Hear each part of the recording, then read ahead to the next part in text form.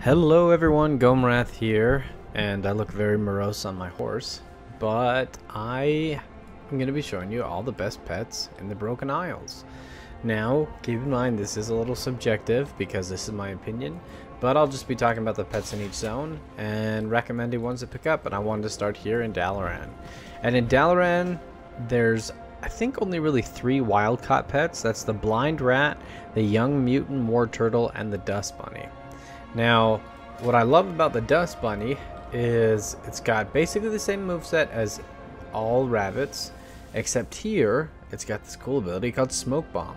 And what it is is it's a move that protects your entire team um, and it always goes first. So if you ever go up against like, you know, maybe these fragments of anger, and he's going to be using uh, Soulfire Beam, it'll protect all of your pets from that attack. Instead of if you were just to use dodge, you'd only dodge it on your first player. So anyway, just kind of a cool little pet. Uh, also, he looks cool because he's all dustified. I mean, he's just a gray bunny, and he glows a little bit dusty. And the way that you get him is on occasion, you can walk into the barber shop and dismount here, and there will be a rug right here, and you right click on the rug. Now, the rug that I actually accidentally clicked on and scared out some dust bunnies was this one right over here. Yeah, I was doing a quest that required me to come in here, and there was a rug back there and I just right clicked on it and it spawned all the bunnies and I'd been looking for them for a long time so it's kind of cool. So that's how you get the bunny and then the other two pets on this list I'd actually recommend snagging. One because the young mutant ninja turtle, mine's named Leonardo, looks awesome. Okay, you can't tell here but watch when I summon this guy. Look at this guy. He's got the swords on his back. He's got the little headband looks up at me. Uh, isn't that adorable? Yeah, he's awesome. And then there's the blind rat. Now, the way that you can get... Here, let me hire a bodyguard because I'm a wiener. Uh, the way you pick up the mutant ninja turtle is you have to use a bunch of eyes to summon them. From this lady right here, it's like 1,500 eyes to summon four of them. But I got lucky enough, and one time I just walked down here, and there was four of them lined up. Well, there's three of them, and so I caught them. Uh, and then the blind rat. He's the other guy who I want to talk about. Now, the blind rat is the exact same as the frost fur rat. This stupid game. And there's not a spurn on the Alliance because I need to be more politically correct and not estrange possible viewers. But if that was a horde wolf, it wouldn't be attacking me. That's all I'm saying. So the blind rat, he's down there, but he's just the same as the frost fur rat that's found out in uh, Frostfire Ridge. You know, exactly the same stat-wise, except he's got a ton of breeds. And I think the frost fur rat has less breeds than that. Let's see. My frost fur rat. Nope. They both have the exact same number of breeds. So, literally, they're exact same pet. But I'd still recommend picking up a power power breed and a speed speed breed and a power speed breed. I really love the speed speed breed because it's got 341 attack, which is faster than just about everything in the game, uh, except flying type pets and rabbits and the cheetah. But literally, I've never ever seen a cheetah the entire time I've played. So the rest of the pets here, um, like these are engineering pets. I'm not sure why they're showing up on the list. And then some of these show up from pet achievements. Yeah, that one's from the Draenor or the Broken Isles Safari. So I think that'll do it for Dalaran. Alright, we are in Azsuna Matata. What a wonderful place. A place where no worries. And I don't remember the rest of the song. But that's pretty typical of me as I forget the lyrics to most songs. So we're over here in Azsuna, and there are a ton of pets over here.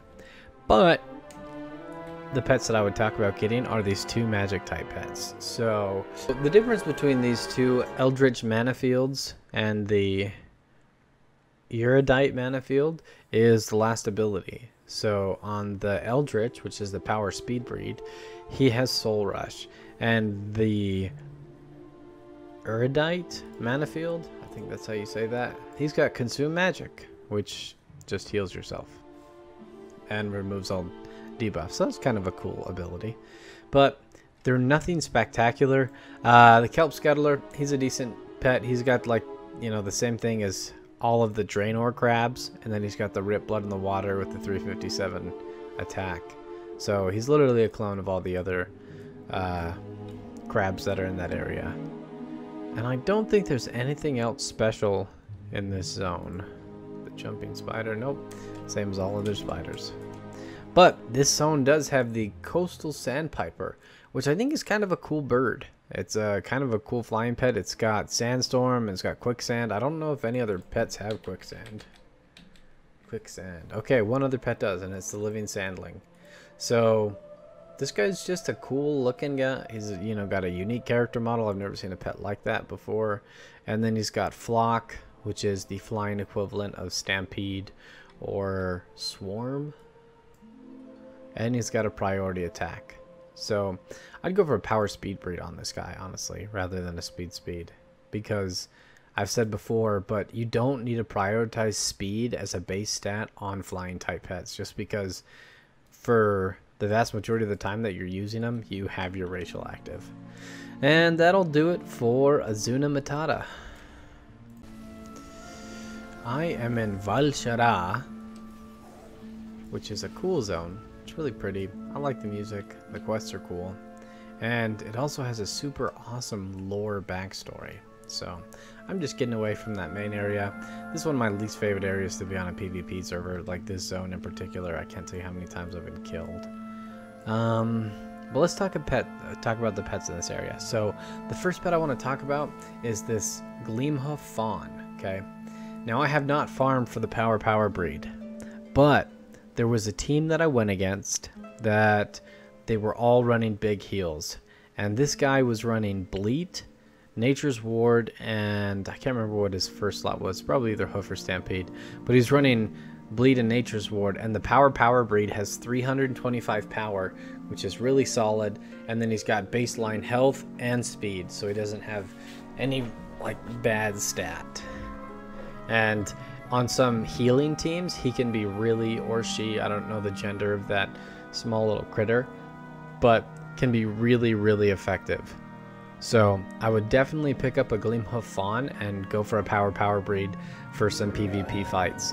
Um, if you're into healing teams. Healing teams kind of drive me crazy because your whole focus is just to outlast everybody and just to switch into all your pets and use your heals and it kind of drives me absolutely crazy. So that's why my team, my go-to team counters healings. Um, and then, okay, but as far as uh, Val'sharah goes, just snag yourself a Gleamhoof Fawn and get a Power Power breed. Other than that, the pets here are just your run-of-the-mill, all the rest of them. Alright guys, we are out in High Mountain. Now, High Mountain actually has some great pets. Um, it's got, I think, my favorite pet of the expansion, which is the Northern Hawk Owl. I use this guy all the time because he's really, really powerful. He's got some great baseline speed, and I use him to primarily counter the Terrorclaw Hatchling in PvP. And he also looks awesome, you know? I mean, I would name him Hedwig if he was white, but since he's kind of like grayish, I just named him Pigwidgeon after the little owl in Harry Potter. So he is found up here by the uh, let's see Iron Horn Enclave. So if you're a blacksmith, you have to go up there for quests. All right, the other pet that I would definitely recommend picking up is if you have not found yourself an SS breed of a rabbit this is where you can get one. Okay, there's only three breeds of breeds available for the mountain cottontail, and you can either catch them in the Red Ridge Mountains at like level three or four or something, some real low, or you can catch them up in the high 20s here in High Mountain. And they're just a fantastic pet to have, and I recommend everybody have at least one SS breed. Now, another great pet is the Mudshell Conch. Okay, and there are a few pets in the game, or snails in the game, that have the health power breed. One of them is found, I think it's Darkshore, the Darkshore snail. He has a chance to roll health power. Um, but other than that, most other snails are like health balanced or health speed, or there's even some speed speed snails, which by the way is horrible. Never use one. They're legitimately garbage. Uh, you know, the Echo Batling can be kind of cool in some unique situations. Um, know, you could use him on some Call Darkness teams, possibly, but it would stop his Leech Life from being really effective. I don't know.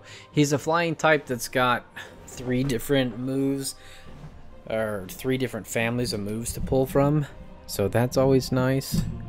But I would definitely pick yourself up either a long eared owl or the northern hawk owl. I like the northern hawk owl because it comes in one breed, and that's the breed that I want.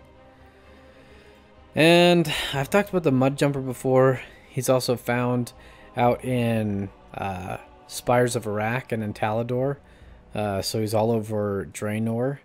Um, he's a very solid anti-undead pet. And Beaver, meh, not fantastic.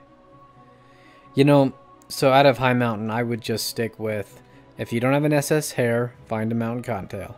Get a Health Power Mudshell Conch, a Power Speed Long-Eared Owl or Northern Hawk Owl, and then on your Mud Jumper, um, I have one of each, but I actually kind of like the balance balance breed here just because it's a little bit faster and undeads are notoriously slow.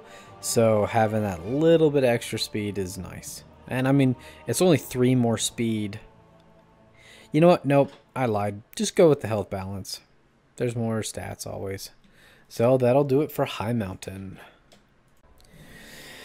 Alright, we've made our way over here to Stormheim.